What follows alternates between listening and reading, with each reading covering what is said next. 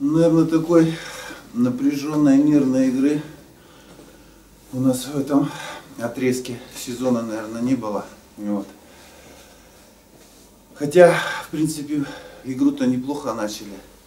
Забили два хороших мяча, ну, в общем-то, контролировали, контролировали игру. Вот, потом, ну, я считаю, что вот этих пропущенных голах где-то, конечно, потеря вот этой концентрации, стандарт. Плюс первый мяч где-то не доработали над подбором, над отскоками. Вот, и поэтому игра как бы вот, немножко как бы в этом плане превратилась в такую нервную. Вот. Ну, понятно, что, в общем-то,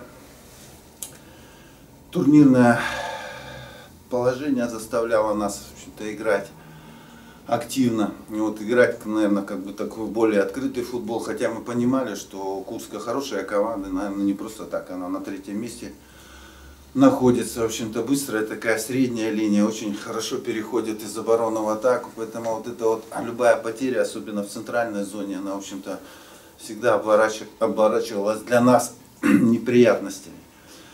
А вот, ну, в общем-то, в принципе, постарались как бы выдержать вот этот план на игру, ну, вот. Ну и понятно, что и во втором тайме, в общем-то, так проявили и характер, и качество бойцовские, в общем-то, ну, надо отдать должен ребятам, в общем, поблагодарить их за самоотдачу, вот за такую, как бы, за такую жажду борьбы. Вот, поэтому нам очень нужны были эти три очка. Вот. Ну и отдельно хочу сказать большое спасибо, конечно, болельщикам, которые, в общем-то, на протяжении вот этого отрезка чемпионата нас поддерживали, несмотря, ну, наверное, как бы на наши, в общем-то, и провальные игры, которые были в этом сезоне, что там греха таить. Вот. Но они, ну, мы всегда чувствовали вот эту вот поддержку, вот. поэтому, конечно, отдельно хочется сказать вот нашим болельщикам, которые, ну, с которыми Теперь уже мы увидимся, наверное, на следующий год. И тем более, как бы, ну, приятно, что, в общем-то, на домашнем стадионе, в общем-то, мы закончили этот отрезок победой. Ну, считаю, над хорошей командой. Пожалуйста, вопрос.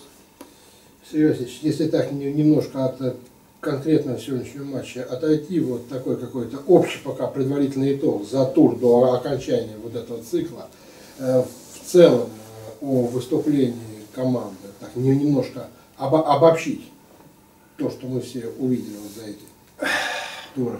Что получилось, что не получилось, чего хотелось бы.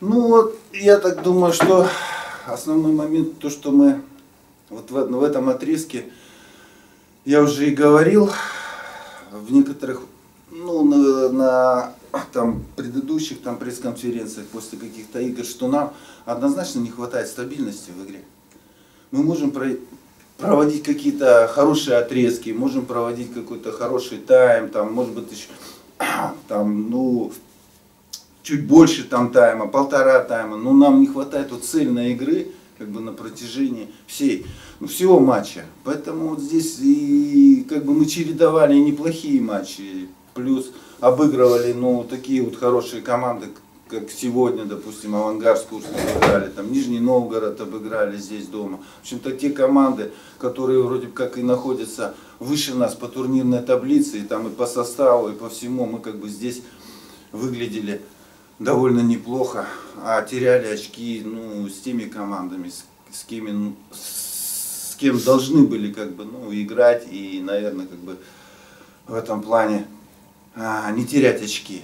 Вот поэтому считаю, что пока нам однозначно не, хват, не, хват, не хватило вот в этом отрезке чемпионата стабильности.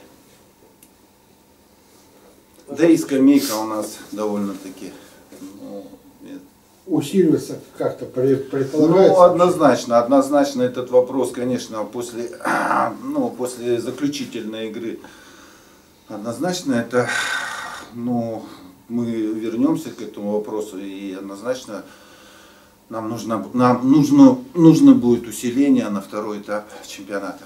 График подготовки к заключительной части ну, пока, пока, пока, пока я пока вам не могу ответить на этот вопрос. Давайте мы вот сейчас проведем заключительную игру, и потом уже, я думаю, наверное, все-таки А, Ну и подведем итоги, в общем-то, отчитаемся, наверное, перед руководством, вот, и уже наметим там дальнейшие планы на следующий год.